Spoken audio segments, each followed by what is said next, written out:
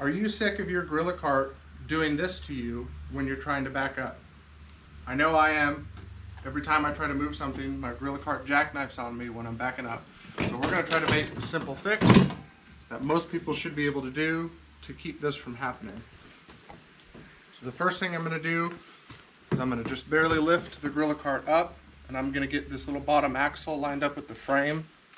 And we're gonna drill a hole from the top here down through. I don't think there's anything there that can be damaged from it. So let's go ahead and do that. Again, make sure it's lined up. You'll see why here in just a minute.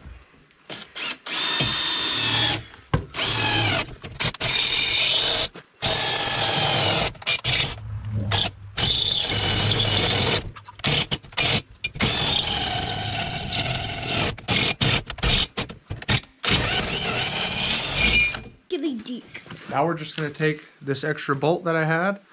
Doesn't really matter what style bolt, as long as the length is long enough. We're gonna drop it